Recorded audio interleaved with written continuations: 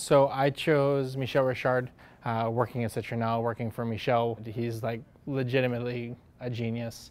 His food is, it's clever and it's interesting and it's whimsical and it's beautiful and it's inspired equally by aesthetics.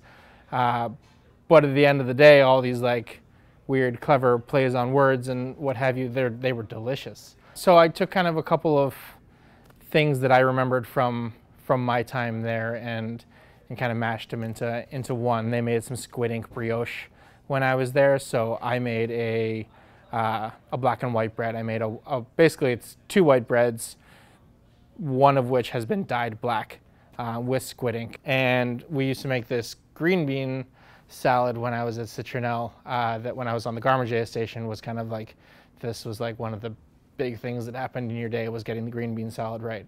Um, and so I made a, a, version of that. It's asparagus season here. Um, so I made a version of that with asparagus and then made a Calabrian chili gelée.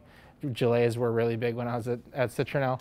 Um, perfectly cubed gelees. In my experience, it was a really unique kitchen because it was, it was a French kitchen and it was difficult um, and it was a high intensity kitchen and you, you ran from the moment you clocked in to the minute you finished and, you know, even yesterday as I was like cubing this gelée, I had you know D David and Cedric were my uh, uh, the chef de cuisine and the sous chef respectively, and like and they would be the ones like over your shoulder like pointing out how how shitty your your your dice was or whatever. So even yesterday as I'm like dicing this gelée, I'm like that's not very good.